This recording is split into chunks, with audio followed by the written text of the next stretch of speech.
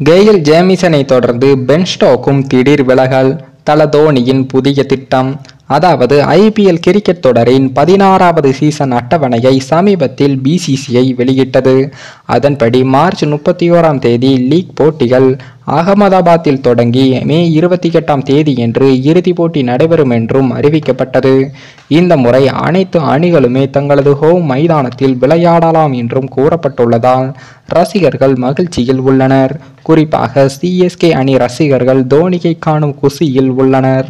எப்படியாவது இந்த முறை வெற்றி பெற்று தல தோனியை கோப்பையுடன் வழியனுப்பி வைக்க வேண்டும் என சிஎஸ்கே வீரர்கள் முனைப்பு காட்டியும் வருகின்றனர். இதற்காக மார்ச் முதல் வாரத்திலேயே சிஎஸ்கேவின் பயிற்சி முகாம் தொடங்குகிறது. சென்னை சேப்பாக்கம் மைதானத்தில் பயிற்சி பெற உள்ளார் தல தோனி. தல தோனியை நேரடியாக கலந்து கொண்டு அறிவுரைகளையும் வழங்க உள்ளார். இப்படிப்பட்ட முக்கியமான கட்டத்தில்தான் நட்சத்திர வேகப்பந்து வீச்சாளர் கெயில் ஜேமிசன் அவர்கள் ஐபிஎல்லில் இருந்து விலகுவதாகவும் அறிவித்தார். நியூசிலாந்தைச் சேர்ந்த கெயில் ஜேமிசன் அவர்கள் கடந்த சில நாட்களாகவே முதுகில் ஏற்பட்ட காயம் காரணமாக அவதிப்பட்டு வருகிறார். பல்வேறு சிகிச்சைகள் நடந்து கொண்டேதான் இருந்தது. ஆனால் அவர் குணமடைய இன்னும் மூன்று மாதங்கள் வரை ஆகலாம் என்பதால் ஐபிஎல் தொடரிலிருந்து விலகியுள்ளார். இந்த நிலையில்தான் மற்றொரு வீரரும் விலகுவதாக தெரிகிறது. அது இங்கிலாந்தின் ஸ்டார் ஆல்ரவுண்டர் பென் ஸ்டோக் தான். சென்னை அணியில் சாம்கரன் இடத்தை நிரப்பப் போகும் முக்கியமான வீரர் பென் ஸ்டோக் தான். அவர் ஐபிஎல் தொடரின் பிளே ஆஃப் போட்டிகளில் விளையாட மாட்டார் என்றும் கூறப்படுகிறது. நாட்டிற்காக விளையாடும்படி இருப்பது இதற்கு காரணமாகவும் பார்க்கப்படுகிறது. இங்கிலாந்து அயர்லாந்து அணிகளுக்கு இடையிலான ஒரே ஒரு டெஸ்ட் போட்டி வரும் ஜூன் ஒன்றாம் தேதி நடைபெறுகிறது. இதில் கேப்டன் பென் ஸ்டோக் அவர்கள் நிச்சயம் விளையாடுவார் என்றும் அறிவிக்கப்பட்டது. அதற்கு தயாராக வேண்டும் என்றால் பென் ஸ்டோக் பத்து நாட்களுக்கு முன்பாகவே செல்ல வேண்டும். சிஎஸ்கேவின் கடைசி லீக் போட்டி மே இருபதாம் தேதி நடைபெறுகிறது. இது முடிந்தவுடன் அவரும் கிளம்பி விடுவார். அதே போல சிஎஸ்கே அணியின் அடுத்த கேப்டனாக பென் ஸ்டாக் நியமிக்கப்படுவதற்கு அதிக வாய்ப்புகளும் உள்ளது. இதற்கேற்றார் போல பதினாறு புள்ளி இருபத்தி ஐந்து கோடி கொடுத்து வாங்கியுள்ளனர்.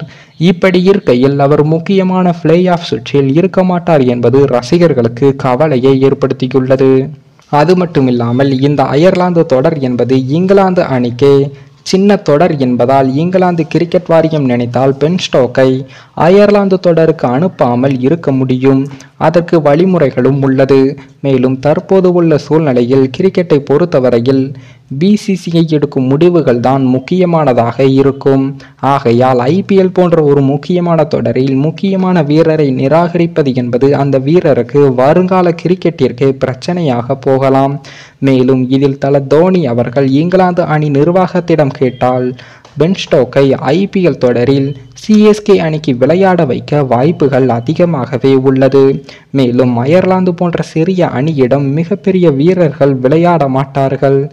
இதனை பயன்படுத்தி சிஎஸ்கே நிர்வாகம் இங்கிலாந்து கிரிக்கெட் நிர்வாகத்திடம் பென் ஸ்டோக்கை ஐபிஎல் லீக் சுற்றுகள் முடிவடைந்த பிறகு விளையாட வைப்பதற்கு பேச்சுவார்த்தைகளை தற்போது தொடங்கிவிட்டனர். இதுதான் தல தோனியுடைய திட்டமாக உள்ளதாகவும் சிஎஸ்கே வட்டாரங்களில் செய்திகளும் கசிந்துள்ளது. மேலும் இதனை பற்றி நீங்க என்ன நினைக்கிறீங்கன்னு உங்களது கருத்துக்களையும் கமெண்ட்ல தருவீங்க. மேலும் இந்த வீடியோ பிடிச்சிருந்தா லைக் பண்ணுங்க ஷேர் பண்ணுங்க. மறக்காம நம்ம சேனலை சப்ஸ்கிரைப் பண்ணுங்க. தேங்க்ஸ் ஃபார் வாட்சிங்